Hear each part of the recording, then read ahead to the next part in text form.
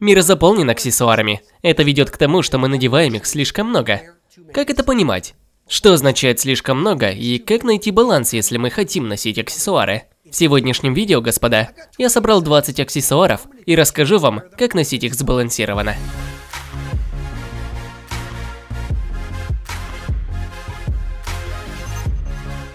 Правило номер один – заметен ли аксессуар. Если нет, то не стоит переживать о его гармоничности в образе. Если на вас ожерелье или подтяжки, и вы не собираетесь снимать пиджак или вы носите ремень с костюмом, то в принципе это не бросается взгляду, так что не стоит заморачиваться над взаимосвязью между ними. Правило номер два – вам вообще нужен этот аксессуар? Если на улице минус 20, то не стоит ломать голову, чтобы подобрать перчатки и шапку. Главное – это не замерзнуть. Правило номер три. Какие нормы этикета в вашем окружении? Так, правила для аксессуаров в Айове отличаются от правил, которые будут в Париже. Так что обращайте на это внимание. Правило номер четыре. Всему должна быть история. Вы спросите, Антонио, что это за бутоньерка? Если есть история и вы знаете, что за ней стоит, то можете надевать любую вещь в любое время, потому что на это есть своя причина.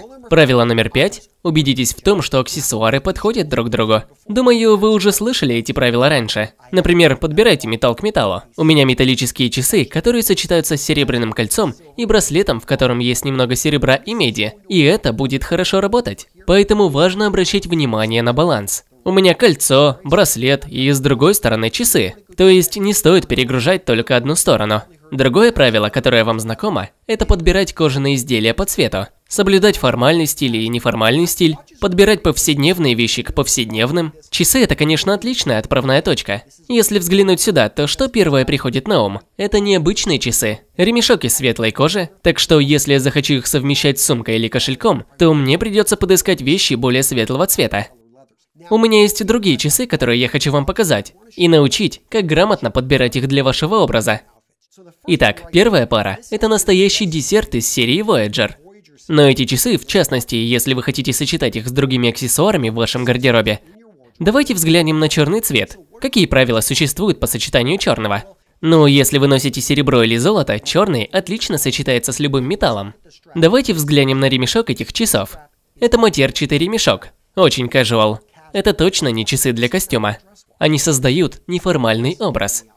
Следующая модель – Avalon из серии «Револьвер». Две вещи сразу бросаются в глаза. Первая – это черный цвет. Я могу их совмещать с золотом, серебром, но простота дизайна и в целом их строение просто ошеломляет изящностью. Это точно часы для праздничного выхода. Черный цвет – это не классика в сравнении с серебром, как у меня. Цвет и в целом облицовка этих часов для меня слишком нарядная.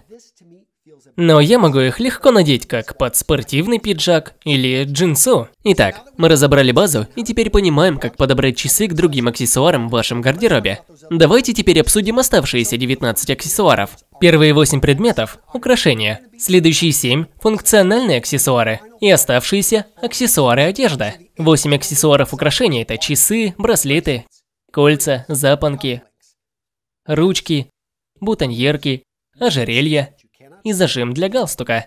Давайте поговорим про браслеты. Главное в браслетах – это сохранять баланс. Так что если вы носите браслеты, то надевайте его на противоположную руку, на которой у вас часы. Да, можете носить их на обеих руках, но повторюсь, главное – это баланс. Следующее – это запонки. В целом, они будут более формальным украшением. Так что вы можете надеть их с костюмом и галстуком. Их надеваются специальной рубашкой, в которой есть подходящие манжеты.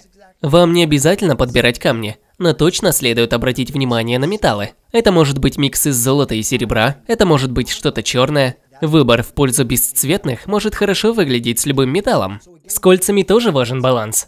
Это обручальное кольцо. Я обвенчался в Украинской православной церкви, поэтому я ношу его на правой руке. Большинство американцев будут носить кольцо на левой руке. Насчет обручальных колец вам не стоит подбирать металлы вовсе. Это правило не распространяется, так как у него есть своя история. Это очень схоже с бутоньеркой. У нее есть своя история и значение. Она связана с памятным днем. Так что бутоньерка и кольцо – исключение из правил. Говоря об исключениях из правил, так как никто не увидит этой ручки, когда я ее уберу, то ее не надо координировать с другими предметами. Понимаете, как это работает? Зажимы для галстука я всегда стараюсь совмещать с другими металлами. И последний предмет – это ожерелье. Почти всегда ожерелье находится под одеждой, и его не видно. Так что вы спокойно можете пренебрегать правилами. Но если его заметно окружающим, или вы надеваете его для особого случая, то просто убедитесь, что обстановка, в которой вы находитесь, подходящая. Если ожерелье привлекает к себе слишком много внимания, то, возможно, стоит задуматься. Давайте перейдем к функциональным предметам. В эту категорию входят очки, сумки, ремни, подтяжки, чехлы для телефонов, кошельки, карманные ножи и зажигалки. Ну что, поехали? Давайте начнем с обсуждения очков. И тут я имею в виду как очки для зрения, так и солнечные очки. Возможно, многие из вас, друзья, носят очки, которые не привлекают к себе много внимания. Это вполне уместно, если вам нужны очки просто для чтения. Но почему бы не придать немного обрамления вашему лицу? Например, как черепашья оправа. Она помогает нам выглядеть умнее. Почему? Она привлекает больше внимания к глазам. Она их увеличивает. Если вы креативная личность, то почему бы не попробовать? Вы знаете Сета Година? Если вы его не видели, то он использует яркую оправу. Почему бы и нет, если вы работаете в креативной индустрии? Если речь идет о солнечных очках, то вы, возможно, захотите попробовать авиаторы. Думаю, что на 95% из вас они будут выглядеть круто. Пожалуй, это хороший старт. Но если вы хотите позабавиться и выделиться из толпы, то пара вайфареры. Используйте очки как аксессуар. Черные бесцветные очки подойдут под что угодно. Следующее – совмещаем ваши сумки. Итак, замечаете разницу? Эта сумка говорит о профессионализме, эта сумка говорит о студенчестве. Так что да, есть определенный посыл. Мне нравится совмещать кожу с кожей, ну или с небольшой разницей. Нужно стараться сохранять баланс между формальным дизайном или наоборот casual стилем. Дальше ремни и подтяжки. Первое правило – не надевайте подтяжки и ремень одновременно. Они для этого просто не созданы. И те, и те держат штаны, нужно выбрать что-то одно. Если говорить о подтяжках, то они относятся к более формальному стилю. В целом придерживаемся главного правила и сочетаем кожу с кожей и металлы с металлами. В отличие от подтяжек, у ремней намного больше выбора для casual образов. Но вот этот ремень, он сделан под костюм. Я всегда соблюдаю соотношение кожи и металлов, когда дело касается костюмов. У вас, конечно же, появляется свобода действий в случае подбора кожи и металлов на более неформальных ремнях. Подбираем кошелек. Он не часто попадается на глаза окружающим, поэтому не думаю, что стоит совмещать цвета или кожу. Главное, чтобы подходил для ваших нужд. Выбираем себе чехол для телефона. Считаю ли я, что необходимо подбирать чехол под другие предметы, которые у нас тут есть? Не совсем. Исключением может быть формальный стиль. Сами подумайте, вы на деловой встрече достаете телефон, а он ярко-розовый.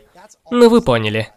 Зажигалки, карманные ножи. Я знаю, что у многих из вас они есть. Их не стоит совмещать, потому что они спрятаны. Давайте рассмотрим галстуки, шарфы, карманные платки, шляпы и перчатки. Так как мы обсуждаем аксессуары одежду, то тут цвет играет большую роль. Если мы подбираем галстук под наш наряд, то первым делом мы обращаем внимание, достаточно ли он формальный, чтобы сочетаться с нашим внешним видом. Шелк в целом считается более формальным материалом. Небольшие паттерны тоже относятся к довольно строгому формату. Конечно, не настолько, как этот монохромный галстук, который на мне сейчас. Старайтесь сохранять формальное с формальным, неформальное с неформальным.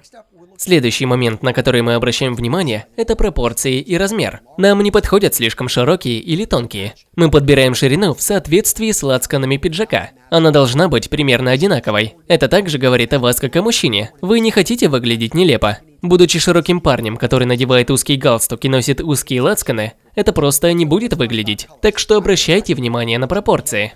Рекомендую обзавестись цветовым колесом. Поймите, что аналогичные цвета будут соседние цвета. У меня тут есть синий и зеленый. Они не совсем схожие, но и не противоположны друг другу. Противоположные цвета – это те, которые находятся друг напротив друга в цветовом колесе. Когда вы смотрите на такие сочетания, то они бросаются в глаза, но при этом они хорошо работают вместе. Галстук может быть хорошим способом для придания акцента и использования противоположных цветов, так как он не будет вызывать диссонанса, если бы вы надели что-то большое. Он больше как специя, вы просто добавляете небольшой акцент. Далее шарфы и совмещение их с внешним видом.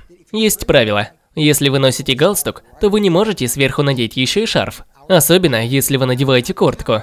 Но если вы не надеваете куртку, вы просто хотите сделать акцент, надев шарф, может быть шелковый шарф, это будет выступать, так как на шее уже есть предмет, который дополняет картину вашего образа. Если говорить о формальности у шарфов, этот шарф из шелка. Он считается нарядным предметом. Почему? Потому что его функциональность на втором месте, в отличие от стиля и цвета, который он в себе несет. Этот шарф отвечает более функциональному аспекту. И существует большая вариация функциональных и цветных шарфов. Когда вы подбираете шарф, то учитываете функциональность. Это первое, на что стоит обратить внимание. Далее, карманные платки. Все очень просто, друзья. Если вы носите пиджак и у него есть внешний карман, просто вставьте в него платок. Это сразу улучшит внешний вид. Если вы не знаете, с чего начать, то просто возьмите белый хлопковый платок, сложите его аккуратно по-президентски и положите в карман. Это будет уже потрясно выглядеть. Если хотите повеселиться, то возьмите цветной платок. Если говорить о цветных карманных платках, я думаю, что паттерны, которые можно выбрать, могут быть очень нестандартными. Они должны подчеркивать, а не совпадать, особенно с галстуками. Если вы видели эти наборы, которые состоят из одинаковых платков и галстуков, то можете их купить. Но только не носите их вместе. Они просто должны подчеркивать и смотреться вместе. Следующим у нас идут шляпы. И шляпы в первую очередь – это функциональность. Я могу вывернуть эту шапку, и тут у меня защита для ушей. Она стильная и будет еще удерживать голову в тепле в холодную погоду. Если на улице идет небольшой дождь, то вот такая шляпа поможет мне не намочить голову. На пляже вот такая шляпа очень функциональна и будет прекрасно справляться со своей работой. На футбольный матч я могу надеть вот эту кепку. Предполагаю, вы знакомы с техасской командой. Главное понимать, что шляпы – это в первую очередь функциональность. И я считаю, это шикарный аксессуар. Давайте поговорим о перчатках. Первостепенно, перчатки – это функциональность. Если на улице холодно, купите зимние перчатки. Если вы идете в зал, то вам потребуются перчатки для жима. Если обратить внимание на сочетание кожи, то не думаю, что это так важно. Мне нравятся более темные цвета, например, эти темно-синие. Я могу носить их с черными или коричневыми тонами. Но если вы выберете ярко-красные или желтые, и у вас подходящий образ, то, конечно, вы можете получить свою долю кайфа и веселья от аксессуаров. Ну что ж, господа, теперь ваша очередь. Как вы считаете, сколько аксессуаров вы сможете надеть сразу в одном образе? Напишите в комментариях, если у вас получится угадать, какой предмет я не стал брать с собой.